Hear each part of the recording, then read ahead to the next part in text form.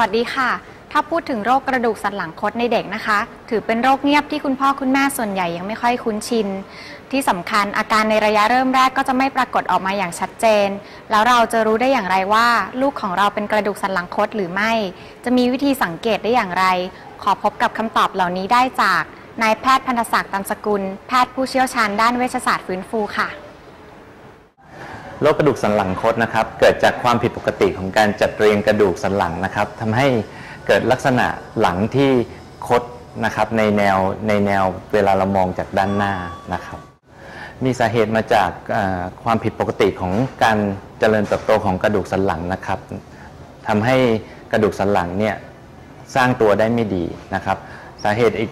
ประการหนึ่งถัดมาก็คือเรื่องของ ความผิดปกติของกล้ามเนื้อนะครับ เช่นในกลุ่มโรคที่มีปัญหาทางกล้ามเนื้อ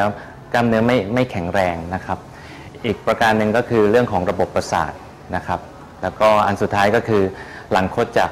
ไม่มีสาเหตุนะครับ วิธีการสังเกตง่าย ๆนะครับ ก็เราก็สังเกตจากด้านหลังนะครับในกรณีเด็กที่หลังคดเนี่ยเราอาจจะสังเกตว่าสะบักด้านหลัง ด้านใดด้านหนึ่งเนี่ยยื่นหรือปูดออกมามากกว่าปกติครับ การรักษาของเด็กหลังคดนะครับก็มีตั้งแต่เรื่องของการออกกำลังนะครับ การทำกายภาพบำบัดนะครับ การใส่อุปกรณ์ดามหลังนะครับ เช่น เรียกว่าอุปกรณ์ประคองหลัง แล้วก็อีกอันหนึ่งก็คือเรื่องของการผ่าตัดครับ